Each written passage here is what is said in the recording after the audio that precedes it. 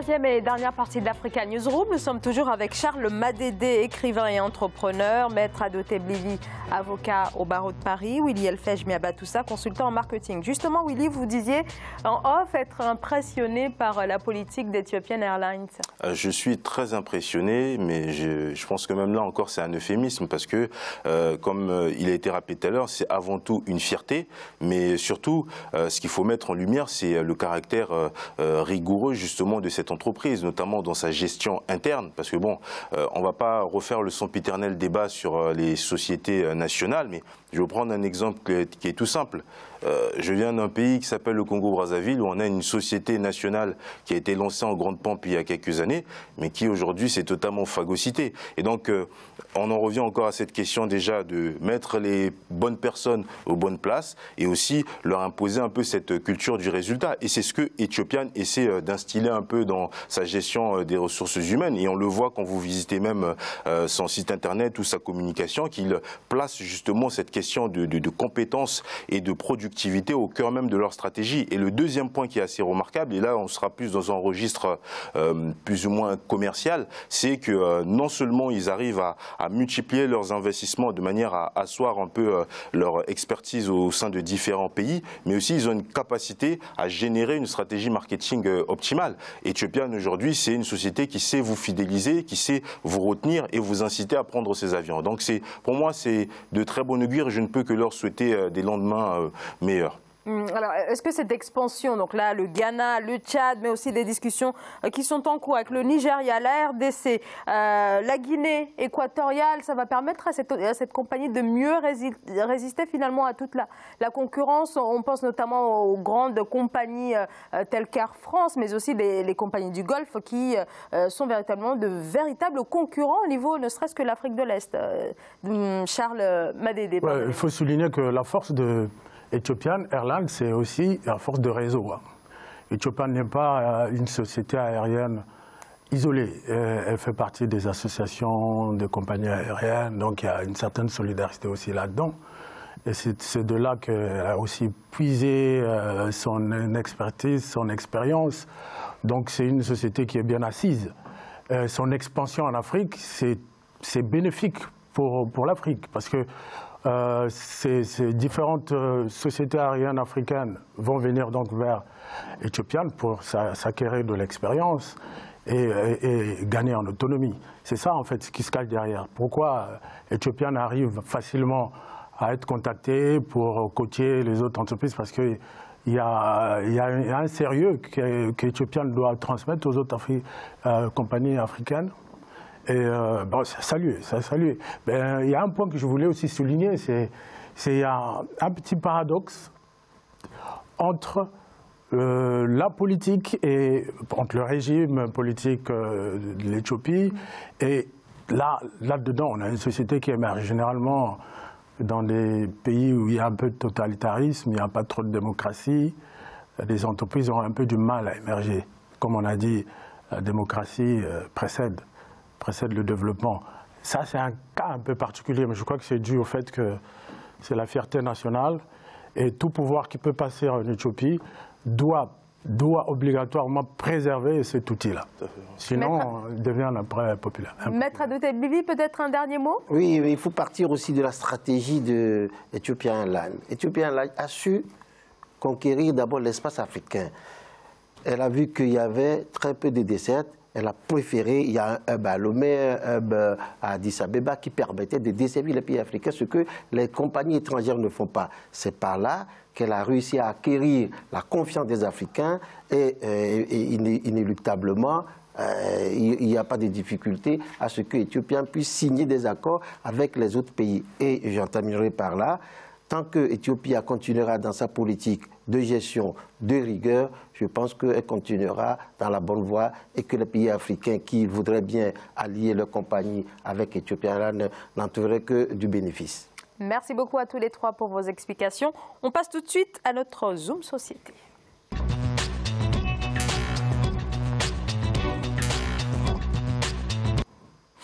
Légère reprise de l'économie nigériane avec un PIB de 1,81% au troisième trimestre selon le Bureau euh, de la statistique, un produit intérieur brut qui frôle donc désormais euh, les 2% après une chute au deuxième trimestre. La tendance a également été confirmée euh, par la Banque centrale qui prévoit une croissance de 1,75% au terme de, cette année pour le géant africain qui, malgré une relance des domaines non pétroliers ainsi que les, les services, service reste néanmoins encore largement euh, dépendant du, secteur pétrolier. Siamlo, Victoria Sechi.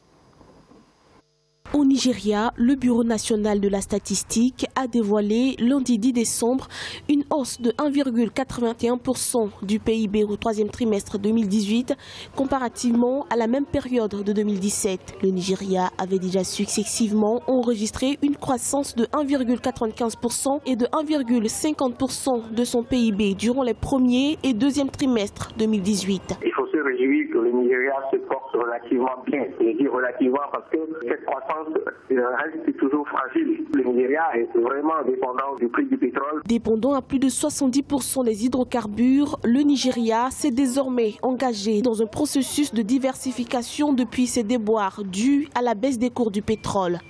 En témoignent les bonnes performances du secteur non pétrolier qui a progressé de 2,32%. C'est vrai que c'est timide, on ne relance pas une diversification d'une économie aussi puissante que celle du Nigeria en quelques années. Ça va prendre du temps, mais ce que moi je retiens, c'est la volonté des gouvernants à vouloir diversifier cette économie. Le Nigeria est sorti de la récession en 2017. Bien que le rythme demeure relativement lent, la balance pourrait s'équilibrer selon des analystes. À noter que la production de pétrole par jour a chuté à 1,84 million de barils en moyenne contre un peu plus de 2 millions auparavant. Alors un léger mieux dans l'économie euh, nigériane, une reprise de la croissance qui, se confirme petit, à petit, mais euh, Maître Adote Blivi, est-ce que euh, cette croissance n'est pas quelque peu artificielle dans la mesure où, l'économie nigériane continue encore de reposer sur ce qui fait d'elle finalement sa, sa, fragilité, à savoir ce secteur pétrolier? Oui, avec la chute du prix du pétrole, le Nigeria a compris qu'il faut diversifier ses, ses sources de revenus. Donc aujourd'hui, il y a toujours le pétrole, mais le Nigeria a développé d'autres secteurs, notamment agricoles et les services. Donc c'est factuel. Aujourd'hui, c'est toujours le pétrole qui est euh, en pointe, normal, mais il arrivera un moment où, avec cette politique que le Nigeria mène depuis 2016, en contournant, en ne s'appuyant plus seulement sur le, pétrole, mais en développant d'autres secteurs euh, d'activité, je pense que euh, c'est plutôt bénéfique pour le Nigeria et euh, ça pourrait permettre au Nigeria de, combler le, déficit qu'il avait connu au moment de la chute du, prix du pétrole. Willy Elfège, en termes de diversification, le Nigeria est bien lancé ou pas vraiment? Alors, le, la croissance, euh, la diversification économique a été effectivement amorcée, bien que quelque peu lente, parce que c'est toujours euh, la même question sur le rôle prépondérant joué justement par euh, les hydrocarbures. Mais le gouvernement nigérian, par la voix de son président, a, pris conscience justement de cette situation, parce qu'il faut rappeler un fait qui est quand même assez, assez, assez drôle, c'est que la crise qu'ils ont connue en 2015 correspond un peu à l'arrivée au pouvoir du président Mohamed Amadou Bouhari, qui donc a su prendre conscience de cette situation et définir un cap. Après, on a parlé de 70%, ça reste encore énorme, mais euh, vu la prise de conscience et aussi l'évolution des, euh, taux de barils de brut euh, à travers le monde, on voit très bien que les services et notamment l'agriculture tendent à prendre le pas justement sur ces hydrocarbures et il ne reste plus qu'à espérer que cette stratégie puisse être pérennisée. Hum, alors quand même, au premier trimestre, les, secteurs non pétroliers n'ont progressé que, euh, que d'un pour cent entre janvier et mars donc 2018, alors que euh, le secteur pétrolier, lui, euh, a progressé de 14%. Donc on n'y est pas vraiment là. David, excusez-moi, Charles Madédé. Oui, c'est vrai que le Nigeria a des efforts encore à fournir dans la diversification de l'économie. Le Nigeria reste toujours encore dépendant du secteur pétrolier. on parle parle de 70% des exportations. Certains statistiques annoncent parfois 90% de ces exportations. Bon, euh, le Nigeria doit s'appuyer sur sa, ce qui est sa force. La force, c'est que le peuple nigérien, c'est un peuple travailleur. Et donc, la production, je crois que c'est la plus élevée en Afrique. La production, le PIB, le produit intérieur brut, c'est plus élevé en Afrique. Ils vont s'appuyer sur ça, mais ils ont quelques difficultés, certes. Euh, ben, ils doivent s'appuyer sur les atouts qui sont les leurs et essayer d'atténuer. Surtout, il y a une autre difficulté qui arrive au Nigeria qu'ils n'arrivent pas à éradiquer, c'est la corruption, euh, tout ça, ça va, être un peu difficile. Ça va être un peu difficile. S'ils ne se résistent pas sur le plan du, droit, la, lutte contre la corruption et tout ça, mais je pense que ça, risque d'être un peu compliqué pour la suite. Alors justement, la lutte contre la corruption, mais aussi euh, cette question très importante qu'est la, la diversification de l'économie sont au cœur, bien sûr, de la campagne en vue donc, de, euh, de cette présidentielle de février 2019. Donc des thématiques euh, qui sont régulièrement là, abordées. Et sans doute encore... point aussi, on n'a pas évoqué, c'est celui sécuritaire aussi.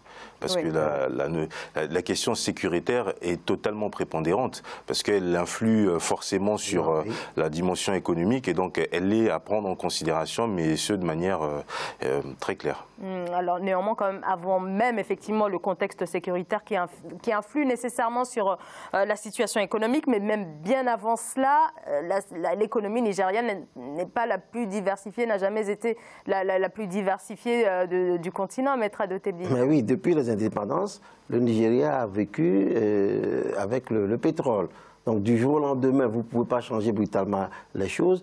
Il est en train aujourd'hui, le Nigeria, de développer d'autres secteurs euh, d'activité économique. La progression est lente parce que bon, on ne s'y est pas intéressé au départ, mais aujourd'hui on s'y intéresse. Donc je crois que dans les années à venir, on sait que le pétrole va rester toujours en bonne position, mais les autres secteurs vont progresser de telle sorte que euh, finalement, on va même oublier le pétrole et on va s'intéresser beaucoup plus aux services, à l'agriculture, à, certains domaines euh, particuliers permettant au Nigeria de pouvoir sortir de, son problème économique. Pardon. Euh, Charles Madédé, je parlais tout à l'heure de la campagne présidentielle, la question de la diversification.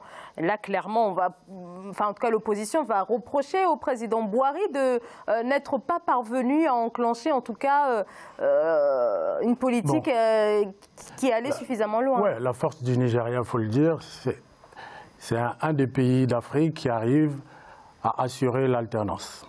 Donc le peuple euh, arrive à voter et c'est un des points forts. C'est pour cela que d'ailleurs le Nigeria, quand il était sous régime militaire, vous savez qu'elle n'a pas pu faire grand-chose. Quand les militaires sont partis, les civils sont venus. Donc c'est un exemple aussi, c'est un, un, appel aussi qu'on lance, aux pays africains.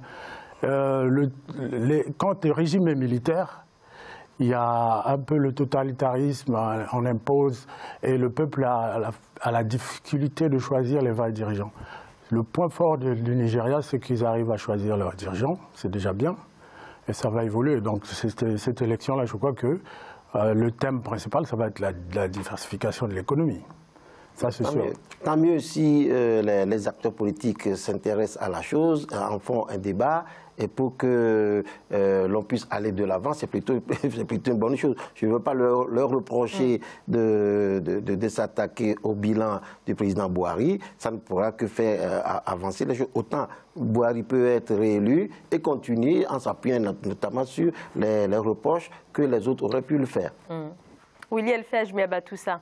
Tout à fait. Ben, écoutez, moi je rejoins ce qui a été évoqué tout à l'heure, à savoir que de toute manière, la question se posera forcément dans le cadre du débat politique, mais c'est aussi ça euh, qui fait la vitalité. Mais c'est un euh, point noir, là, la question de la diversification dans le bilan du Non, je ne pense, pas, je ne pense pas que c'est un point noir, parce qu'il euh, faut arrêter aussi de, de, croire que des réformes se réalisent comme ça d'un claquement de doigts. Je pense qu'il a amorcé quand même un cap assez clair, il a défini un cap stratégique qui est quand même assez ambitieux, et le, le Nigeria parce que nous, connaissons ce pays euh, qui est le plus peuplé d'Afrique et qui est la première euh, puissance économique, a les moyens de réaliser justement euh, ces, objectifs, en ce sens. Et d'ailleurs, ces successions ont intérêt à poursuivre dans, ce sens-là, à, ne pas s'appuyer seulement que sur le pétrole, en diversifiant les, les, économies du hmm. Nigeria. Charles Madédé, peut-être un dernier mot Un dernier mot, mais en fait, la diversification de l'économie, les, tous les programmes du FMI euh, demandent ça aux États depuis plus de 30 ans.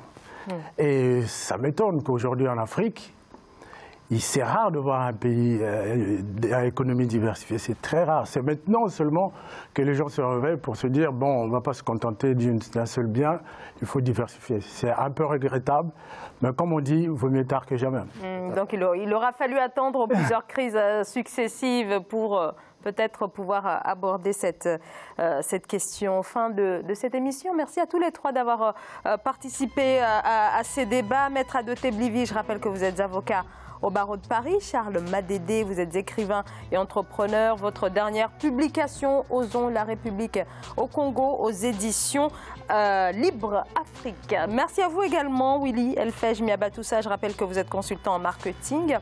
Merci à vous, bien sûr, de nous avoir suivis. Merci de votre fidélité. J'aurai le plaisir de vous retrouver demain. Très bonne soirée. Merci.